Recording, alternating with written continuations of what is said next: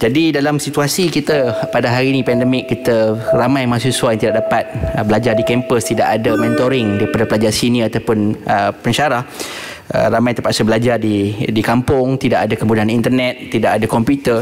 Bagaimanakah KPT menjamin bahawa mereka ini dapat menghabiskan silibus dan dapat mengikuti kualiti pembelajaran di IPT?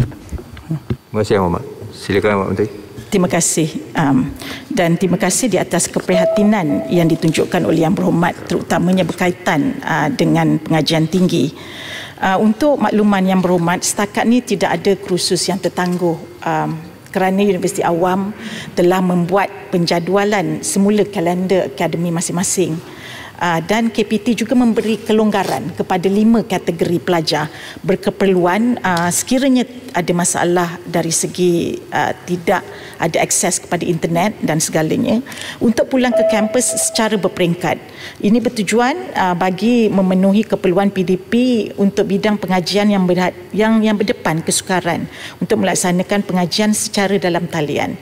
Saya nak juga maklumkan ke dalam dewan ini lima kategori yang membolehkan yang dibolehkan pelajar-pelajar ini kembali ke kampus adalah pelajar pasca siswaza mod penyelidikan Universiti Awam dan IPTS yang sedang uh, menjalani uh, menjalankan pengajian yang keduanya pula pelajar semester atau tahun akhir bagi pengajian di peringkat sijil, diploma dan ijazah sarjana muda.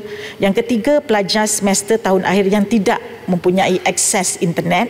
Dan yang keempat, pelajar berkeperluan khas yang mengikuti program pendidikan dan latihan teknikal dan vocational di Politeknik dan College Community dan yang terakhir adalah pelajar kemasukan baru bagi sesi Akademi 2020-2021 di semua universiti awam, universiti swasta, di Politeknik dan juga College Community.